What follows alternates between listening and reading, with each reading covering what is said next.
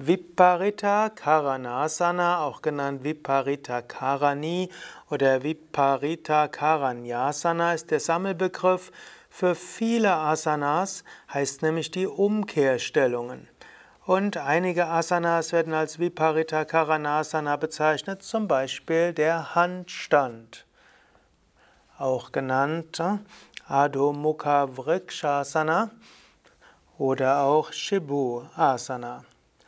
Zweite Stellung, die als Viparita Karanasana bezeichnet werden, ist der Skorpion. Du gibst die Unterarme auf den Boden, Ellbogen schulterbreit auseinander und hebst dann die Beine hoch und schaust dabei auf den Boden.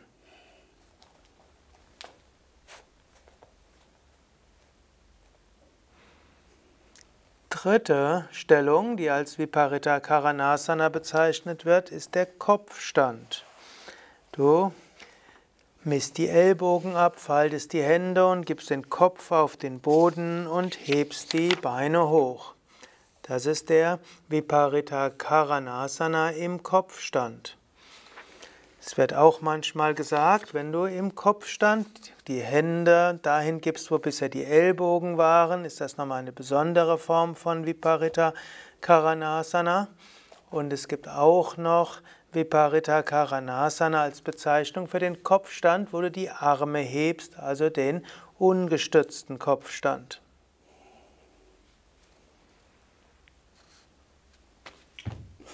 Eine noch einfachere Variation von Viparita Karanasana ist der Schulterstand. Du legst dich wieder auf den Rücken und du hebst die Beine hoch und machst dich zunächst mal ganz gerade.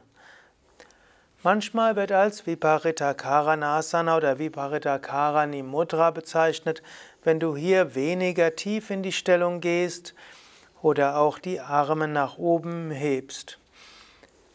Samuel wird jetzt einfach eine Stellung etwas halten, ein paar Worte zu den Umkehrhaltungen. Viparita heißt ja andersherum und Karana heißt äh, verursachen und so ist Viparita Karana Asana die Umkehrhaltungen. Umkehrhaltungen helfen, dass das Blut von den Beinen zum Herzen fließt, dass auch das Blut der Bauchorgane hinunterfließt und deshalb sehr gut für den venösen Kreislauf. Weil mehr Blut zum Herzen fließt, wird der Herzmuskel stärker pumpen müssen und so steigt die Fließgeschwindigkeit des Blutes.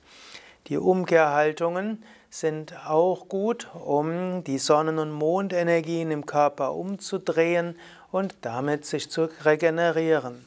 Alle Viparita Karanasana Stellungen werden traditionell als Verjüngungsübungen bezeichnet und auch als Übungen, die helfen, Apana Vayu zu harmonisieren und zu sublimieren. Umkehrhaltungen helfen auch, dass Apana umgewandelt wird in Ojas und dass die spirituelle Konzentration leichter fällt. Mehr zur Wirkung aller Asanas und wie du so genau lernen kannst, findest du in der Yoga Vidya App sowie auf yoga-vidya.de. Dort suche einfach nach den einzelnen Stellungen oder eben nach dem Sammelbegriff Umkehrstellung.